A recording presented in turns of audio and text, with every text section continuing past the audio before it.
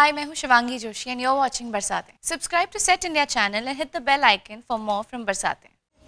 Double H हर दिन मेरी शादी है और हर दिन मेरी खुशी मुझे ऐसे लगता है कि आपने थोड़ा ज़्यादा ही कर लिया पर आपकी खुशी के लिए ये हुई ना बात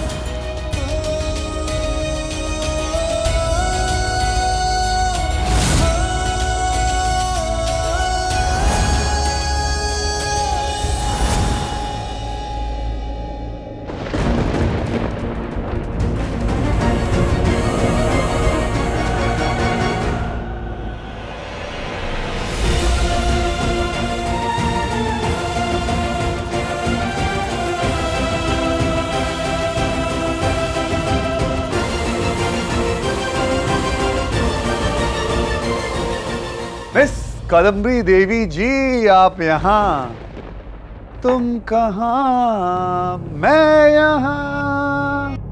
वही मैं सोचूं कि जब डैड ने एनिवर्सरी पार्टी रखी तो आपने हाँ कैसे कर दिया आने के लिए? कैसे टाइम निकाल लिया अपने पति के लिए, अपने परिवार के लिए?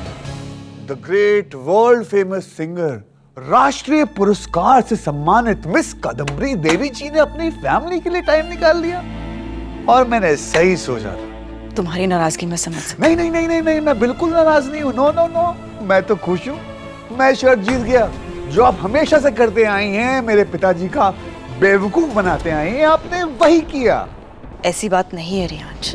कहने के लिए तो मैं आज भी चली जाती।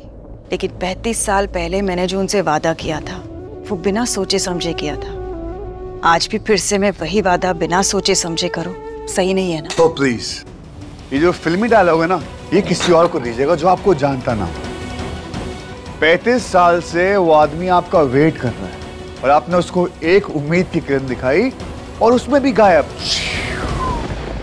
आप जितनी अच्छी गज़ल गा लें, जितनी भी, अंदर से आप मर चुकी हैं। फिनिश। मर तो मैं उसी दिन गई थी रियांश, जिस दिन मेरे माता पिता ने ज़बरदस्ती मेरी शादी तुम्हारे डैड के साथ की थी। अपने दिल को एक डब्बे में बंद करके रख दिया। लेकिन मैंने पलट के पीछे कभी नहीं देखा। तुम्हारे डैड के साथ बेवफाई कभी नहीं की। अरे इतना एहसान भी क्यों कर दिया कादम्बरी देवी जी? क्या इमोशनल चीटिंग को चीटिंग नहीं कहते? जो दुख आपने मेरे बाप को दिया है उसे बेवफाई नहीं कहते। मैंने कभी नहीं चाहा था कि मेरी वजह से तुम्हारे डैड को कोई दुख पहुँचे। हमेशा यही चाहा कि वो खुश रहे। लेकिन उनको खुश रखना मेरे बस की बात नहीं है। तुमने हमेशा उन्हें देखा है और मेरी गलतियाँ निकाली है। लेकिन प्यार करने के अलग अलग तरीके होते हैं रियांश एक तरीका ऐसा भी है कि तुम सामने वाले को झूठा दिलासा नहीं देना चाहते। मैंने भी सोचा था कि ये मैं कर पाऊँगी। पीके की खुशी के लिए मैं उनके साथ खड़ी हो जाऊँगी और कह दूँगी कि इंतज़ार खत्म हो गया। मैं आपके साथ हूँ। लेकिन यादों की भी अपनी मर्ज़ी होती है। कब, कहा से अचानक से दबे पाव चली आती है और तुम्हें चौंका देती है? एक पल, एक सुर, एक नज़र और फिर अपने साथ अंधेरे में घसीट कर लेकर जाती है। उस अंधेरे को साथ लेकर मैं किस मुँह से तुम्हारे डैड के पास जाती? मैंने उनसे कभी झूठ नहीं बोला है झूठ बोलना इतना ज़रूरी नहीं है जब आप एक झूठ की ज़िंदगी जी रही हैं। आपको अपने अतीत की इतनी याद आती है तो चली क्यों नहीं जाती वहाँ? क्यों टॉर्चर कर रही है मेरे बाप को? एक आदमी के सामने उसी के घर में किसी और के लिए गजलें गाती हैं। क्यों? कौन करता है ऐसे अगर आप मेरे बाप से प्यार नहीं करती हैं तो उन पे दया तो करिए। चले जाइए उनको छोड़कर। संभाल लेंगे रोएँगे ना और क्या कर लेंगे? लेकिन आप नहीं जाएँगे क्योंकि आपको महान बनना है। आपका दिल एक पत्थर है। आपका इज़्ज़त करना ढोंग है आपका सब कुछ ढोंग है।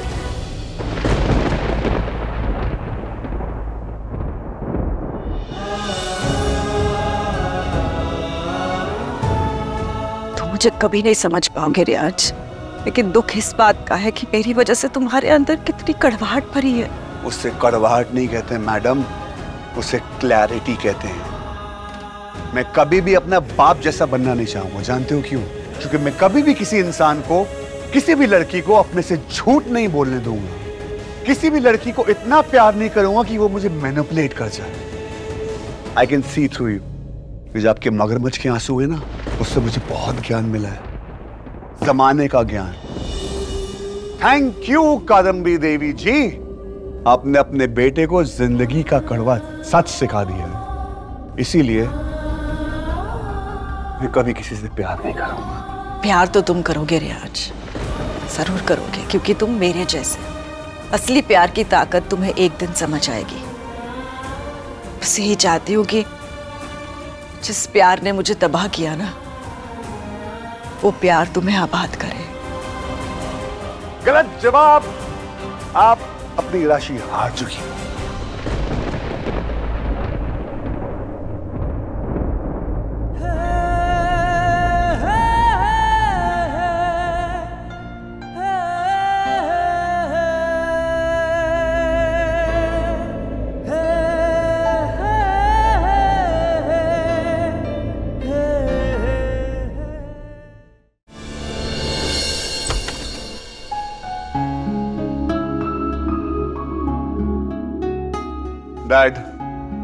व्हाट्सअप ऑल गुड मैंने कहा था ना आपसे कि ज़्यादा खुश मत होइए। खुशी चली जाएगी। देखा? वो नहीं आई है। और आपको पता है वो इंदौर में नहीं है? यही है। होटल रॉयल में जानता हूँ। तो इस बार आपका क्या एक्सक्यूज है? मेरा एक्सक्यूज नहीं उन्हें तो आदत है ना आपका दिल तोड़ने की।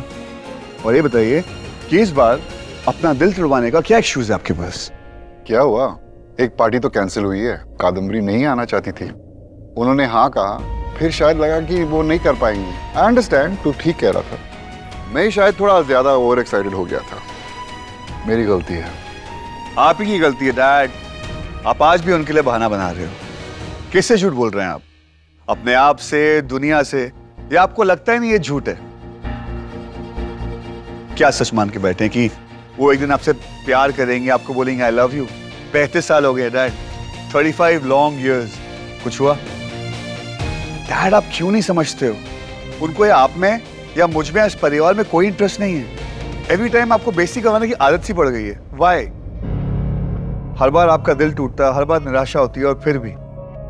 फिर भी मैं प्यार करता हूँ। तू नहीं समझेगा। मैं समझता हूँ डैड आज मैं आपका इमोशंस पहली बार समझ रहा हूँ। मैं आपके इस नज़रिए से खुश नहीं हूँ। बट यस समझ रहा हूँ। क्योंकि पहली बार मुझे प्यार हुआ है। आई लव अ डैड और मैं समझता हूँ कि आप अपने प्यार में किसी पे भी भरोसा करना चाहते हैं। प्यार में एक अजीब सी ताकत होती है। यू नो द ताकत जो किसी को भी अंधा बना देती है। For that I really love and मैं अंधा नहीं होना चाहता हूँ। तुझे प्यार हो गया है। एम सो हैप्पी मैं शादी कर रहा हूँ डैड पर वो अलग है। मैंने हमेशा सोचा था, हर औरत कादम्बरी देवी जैसी है। लेकिन बिल्कुल भी वैसी नहीं। इसके जैसा कोई भी नहीं कि मेरा दिल नहीं तोड़ेगी, मुझे दुख नहीं पहुंचाएगी, मुझे चोट नहीं पहुंचाएगी, और आपकी बीबी की तरह मैनिपुलेट नहीं करेगी। क्योंकि ये माँ जैसी नहीं आपकी बीवी जैसी नहीं है। आज तूने जिगर जीत लिया है पापे। ओए ढोल बजाओ ताशे मंगवाओ। मेरे पुत्र को प्यार हो गया है भाई। तू देखना प्यार बहुत बड़ी ताकत है। सारी कड़वाहट चली जाएगी तेरी। प्यार तुझे बदल देगा मेरे बच्चे। I really love her. और आज शाम को मैं उसे आपसे मिलवाने ला रहा हूँ ओके आप मिल लीजिएगा। ओए धूमधाम से लेकर आइए उसे तेरा बाप सारी तैयारी कर लेगा। वो राइट वो मैं आपको उसके पेरेंट्स से भी मिलवाना चाहता हूँ। आप लोग को जो भी बात करनी है आप लोग कर लीजिएगा। इतना बड़ा घर है उनका। पता नहीं क्या सूट होगा। उनके पास तो इतनी बढ़िया बढ़िया साड़ी है और हम क्या पहने? सो आज शाम को रोका ही हो जाएगा कि सिर्फ़ बातचीत होगी। दी मैंने तो शुरू कर दी है बात। अब तुम टेक ओवर कर लो। रोका? एक मिनट।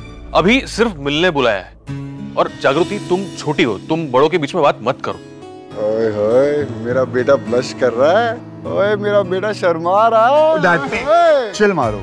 फालतू की बातें मत करो। आपको मिलना है ना उससे? ओए your daddy has no chill आ गया मेरा बेटे का दिल। ओ डैड प्लीज़ आप सच में बहुत इरिटेटिंग हो। मैं जेन्युइनली चाहता हूँ कि आप हमारा प्यार देके असली प्यार को समझें। जो आपके साथ होता आ रहा है राय उसे असली प्यार नहीं कहता। डैडी वो अभी बस मिलने बुलाया है। एक्चुअली वो चाहते थे कि आप पहले वीके अंकल से आई I मीन mean, उनके डैड से मिल लो। और उसकी मम्मी? अ, वो अभी यहाँ है या नहीं पता नहीं। आराधना तुम खुद पहले कहती थी कि उनकी फैमिलीज़ में बहुत सारे इश्यूज़ हैं। आर यू श्योर कि मतलब ऐसी फैमिली में देनी है बेटी। आप रियांश की तो सोचिए कितना अच्छा लड़का है। और आप खुद उसी के कहने पर विक्रम के लिए मान गए थे ना? ना बड़ा घर है उसके पापा भी तो कितने हंसमुख है। दोनों एक फ़ील्ड में काम करते हैं तो क्या बुरा है फैमिली में? भक्ति तुम जानती हो ये सेलिब्रिटी कल्चर ये इतनी बड़ी फैमिली इनके तौर तरीके हम लोग कैसे मैनेज कर पाएँगे? मतलब आप आप मेरी बात सुनिए। वो हमारी आराधना के लिए परफेक्ट है। मैं तो पहले ही देख के जान गई थी। इन दोनों की जोड़ी ऊपर से बन के आई है।